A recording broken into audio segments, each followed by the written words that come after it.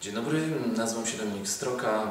Y, Gram tutaj w spektaklu Właźni postać mężczyzny y, w przedstawieniu Antyzwiastowanie, które opowiada o adopcji i serdecznie wszystkich zapraszam na ten spektakl.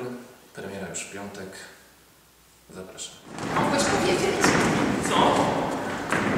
że nie no lubisz, kiedy śpiewam. Po prostu śpiewasz y, trochę nieczysto, wiesz?